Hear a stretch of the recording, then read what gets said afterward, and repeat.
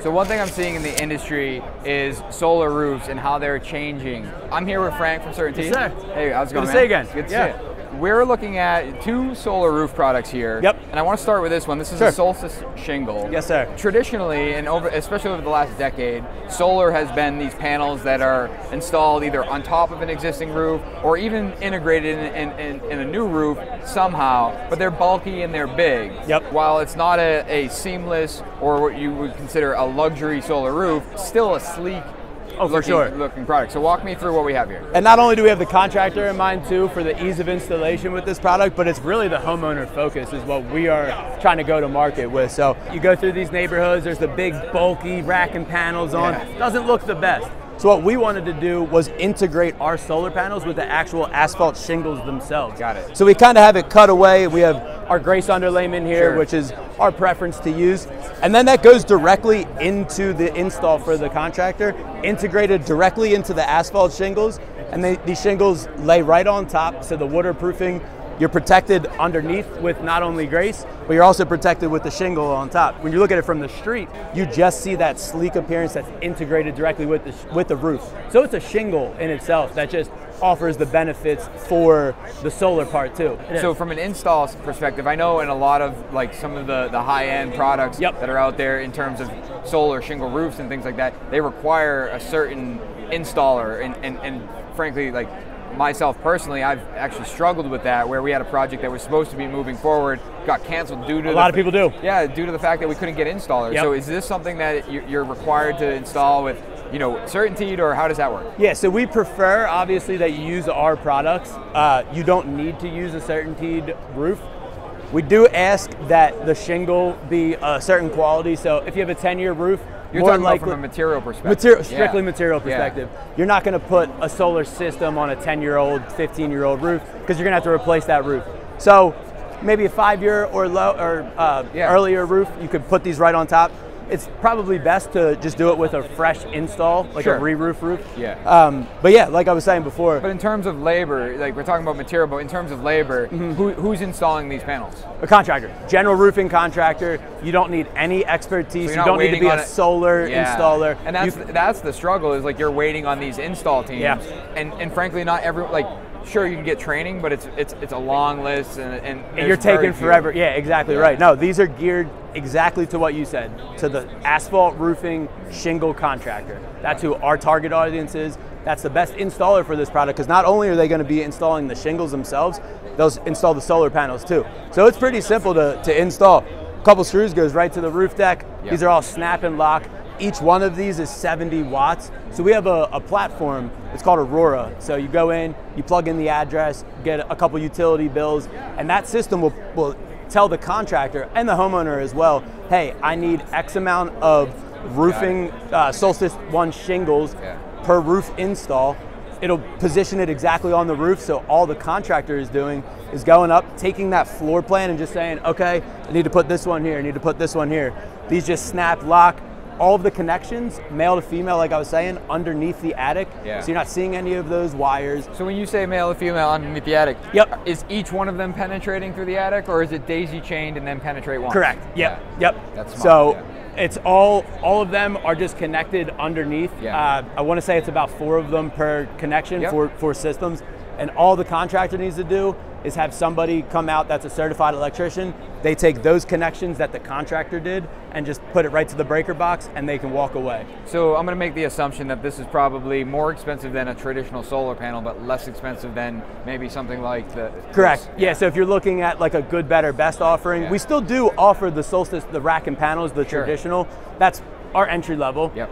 Then we have the Solstice shingle, good, better, best. That's better. Then we walk over here to our newest acquisition in Sun Style. So this is a This was an acquisition for CertainTeed. yes, sir. Yeah. Uh, Swiss-based company. So this is called Sun Style. Yeah. So these are 100 watt system versus the 70 watt system over here. And, and let me just say, I think the display is it's rather deceiving because the panels are so large. But this is a, a fantastic picture here, where Yeah, the- you actually see a beautiful. I mean, take away the mountains in the background, you're still talking about a beautiful roof It- right it- there. it yeah, is. just only Yeah, go yeah. visualize it. There, we that's go. all we need. So what, what are we looking at here? It, like, and, and I'm going to make an assumption. And I want you to correct me, but you have these, and you're basically covering the entire roof with these panels. Yep. And then anytime you get in a situation where you have to cut or end the roof, you're using these black fill panels. Correct. Yep. So then that these are all, like I said, similar to the Solstice shingle, all fully integrated into the roof. So Yeah. these are the only thing that you're going to see on the roof. We're not going to have asphalt shingles or anything Yeah. like that. So this is all integrated with the Sun Style. That pattern that you see there, we have it all around the entire roof, Sure. all full coverage. And from a performance perspective, these probably perform higher than those. This Yeah. is the best performing product that we have, the most expensive one that we have as well. But you pay for what you get, right? Sure. So a question I know will come up, and I keep touching it. and I keep No, watching. it's all- No, I'm doing the same I'm thing. watching Yeah, people yeah, yeah. Windex it every yeah, don't minutes. get out of here. It's like wipe it off. I know a question we're going to get. Do they come in different sizes? So these are all standard. Yeah. Um, so the, the when you go through Aurora Yeah. and plug that in, it'll tell you which ones are active and which ones are not. So Sure. some of these are just fake cells that Yep. aren't actually producing back to the grid. Got it. So that's it's all still going to be this product itself, Yeah. though. But from a sizing perspective, this is the scale that they come in. Yep, this which, is the scale, Which I think is important to note because here, like on the display, you can see how large they are. In that picture, they look beautiful, but you're talking about a larger building. Yeah, Where this might not be a best fit for a smaller residential home. Yeah. Which brings us back uh, to the Solstice shingle. And it's all about the neighborhood, right? You're probably not going to be putting this on a, a residential neighborhood. I mean, look, that's on the side of a mountain somewhere. It looks beautiful. Right. You kind of want that building, big luxury. scale. Yeah, exactly Yeah. right. But when you're going through your typical, you know, neighborhood in, in small town America, wherever you might be, you're going to see more of these integrated actual shingle Yeah. systems or your traditional rack and panel. But And, and, and truthfully, you know, I I know Certainteed by the, the landmark asphalt architecture shingles. That's Bread our- and butter. Yeah, that's our go-to. And Yep. I think you said that you get new colors this year. yeah, we just launched a couple new colors. So Why don't we head over there? yeah, let's do it. What drives those color changes? First and foremost, quality. That's Yeah. our biggest thing. We've always sold on quality. We will always be focused on quality. And then next is customer satisfaction, right? When you look at the details and you and you look at what customers truly want, they want more browns. Now they want more black. How trendy is black right now? Right you now. see black siding, Right. brown siding. How all black of that. can I get that? Exactly Yeah. right. Uh, matte black. Is Yeah. it flat? Whatever it might Right. be. So we kind of played off of that and we listened to what our customers truly wanted. And we launched this color over here. It's called Landmark Pro uh, Max Def Espresso. Yep. Kind of the play off the coffee beans and, Yeah. and that type of brown. Yeah. It's very vibrant. So when this gets on a roof, it looks very dark here. In the sunlight, it can be gray at times. And then Sure. towards you know dusk and whatnot, it gets back down to that true rich, like Yeah. earth tony brown. So for us, tr- like truthfully, we do a lot of like luxury roof product, and this would, you know, I would relate this more to like a mid-level or like similar to the Solstice shingle. Like Absolutely. a, mi- a Yep. mid-level, great product. When a- anytime we're dealing with an architectural asphalt shingle, our ar- the architect's always specing that landmark. It, it's like their go-to. Industry standard. The, the one question I have, and I think that a lot of people struggle with, is when they are introducing new colors or they're discontinuing old colors. It's that you know when you're when you're what is the consideration for when someone needs to patch a roof? And I know there's a life expectancy, right? Yep. 20 years, 30 years, Yep. 40, 50 years, depending on the product. Correct. But what? How does that come into the consideration when you when you are introducing and exiting colors? Landmark Pro Evergreen. That's our newest Yeah. color for this year. That color moved from Landmark Hunter Green, a historical color had been around Sure. for decades. Now we moved it to Landmark Pro Evergreen. Yeah. Similar color, more vibrant now. It's that Max Def blend, so you're going to get those pops on the roof. But to your point, what happens when we have a customer that did an install, say two years ago, Yeah. or maybe it was a shed, and now they want to match whatever it might be. So we do we sit on some of this inventory to do those jobs, so you can reach out to your local territory manager, local distribution, Sure. and see if they have any in inventory. And if they don't, you'll have to work with that same contractor, that same TM that you might have talked to before, and see if we can get you a discount on the newest color. Right. While you're talking, I, I, I'm catching a glimpse of this product out of the corner of my eye. Sure. What is this material? Yeah, so this is our newest siding uh, product. It's called Rise. This is the the white. This is in seven inch exposure. Okay. Right here. So this is actually made of 94% recycled content, and it's cool because we're taking products from the automotive industry, from the carpet industry, and actually our own fiberglass from Certainteed, and we're recycling that. 94% of this is recycled content. So to the consumer that's concerned about sustainability and Or you know, LEED points or things like exactly that, all yeah. of that. And that's all available right through this product. Available in 10 different colors, so it's not just white. Yeah. Uh, and we're very excited about that. This show, we're, we're getting a lot on the solar, and we're also getting a lot on the recycled. No, I think it's great. I think the industry as a whole looks to composite type clapboard siding, Yep. and you have so many of op- options, and people are constantly coming out with new product. Truthfully, I don't hear a lot about recycled content when that, that conversation comes up. So ni- 94%, that's really you know Yeah, that's pretty high. im- impressive. I said that we don't use a ton of uh, asphalt architectural shingle, but what I do use a ton of is your roof underlayment. Oh, yeah. So when I tell my guys to go grab Grace Ice and Water, it's a general term, and to them, there's one product. And I'm looking at eight products sitting up here. I'd love to understand what's the difference. About two years ago, CertainTeed acquired GCP, which Yeah. we are now the biggest supplier, roofing manufacturing company of underlayments. And what does with that, that, mean? acquisition? What does that when you say the biggest supplier? Like from So- product perspective, offerings. from product perspective, from distribution perspective, uh, we make the most of this uh, underlayment. We are the, the biggest in the world as far as output of underlayment. Grace Select, Grace Ice Water, Grace Ice Water HT, Grace Ultra. I've seen these two. I've never seen those two. Like and what's the difference between these two? the actual properties of each are the same. Really, where you're going to see the difference is this is 25 mil and this is 45 or 40 mil. Got it. So that's the biggest difference. So we have a thinner material. That's all it is. It's less, you Yep. know, it's less vulnerable.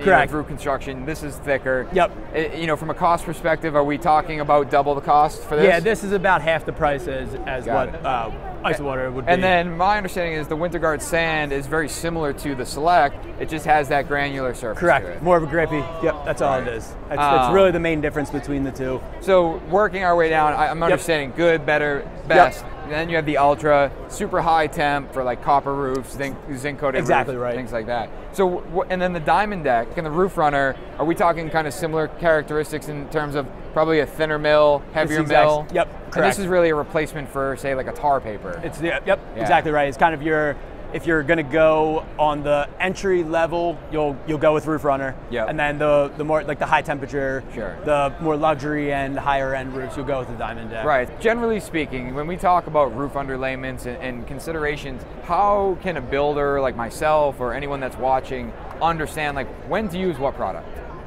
Yeah, so if you're if you're not familiar, obviously you can reach out. CertainTeed has plenty of resources. You can go on our website, certainteed.com, find the underlayment section. We'll give you a technical sheet about what the actual specifications are. So maybe your job might require a certain spec that it has to meet. You can go on that website, pull up those tech data sheets, the cell sheets, we have brochures and everything like that. It'll give you all the actual fundamental details of each product line, and you can kind of tailor that to what the specs of your job require. If you're going in and you're just doing a standard, you know, residential house, more likely than not, you're probably going to go with a Grace Select. Sure. You're going to go with a Roof Runner. But once you start getting into those higher temp markets, Yeah. you'll go with Grace Ice and Water, go with Grace uh, HT or, or Grace Select. So, say I don't want to go on your website and I don't want to read a bunch of documents and understand spec sheet. Do you guys have a technical team to help through this? We do. Yeah. Yeah. And so you can call our 1 800 number. We can get you in contact with somebody. Reach out, um, you know, Monday through Friday. Yeah. Nine to five type deal. Sure. G- Give them a call. They will reach back out to you. We have a whole like inside sales team. So if you need specs for not only your underlayment, but you need technical specs for your asphalt shingles, or maybe you want to do siding and you have Yeah. specs on that, that team can talk about all of those. One stop shop for all of your building needs. Cool. Yeah. Frank, thank you Great. so much. Great really appreciate man. it. Yes, sir. Guys, I think that the key here is really understanding that all of these companies are, are here to help support us as builders, as contractors. And when you're dealing with multiple products, it's even that's where the, the importance of having a good relationship with these vendors comes into play. You want to be able to get on the phone with them and understand what product I should be using, when I should be using it, and how do I maintain warranty. So that's a wrap here in the CertainTeed booth. Check the link in the description below. Thanks for watching.